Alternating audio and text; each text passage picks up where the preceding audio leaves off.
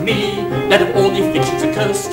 I would like to be more like Grossmith. He was a very, very talented chap.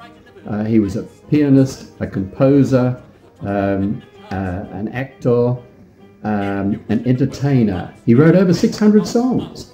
He was a wonderful man. His whole family was very uh, talented.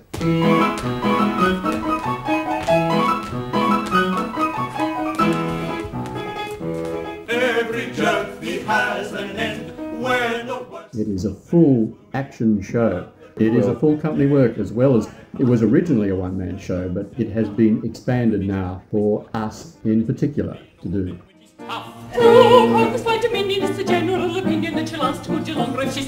Each character will appear, the chorus will appear, and we will act out the scene that George Grossmith is uh, visualising in his imagination.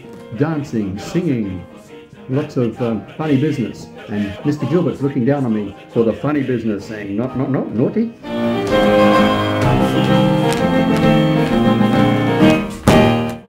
When the band commences playing, my feet begin to go.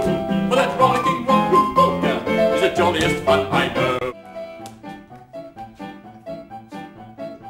Mary's a pretty wit, I warrant you a pretty, pretty wit.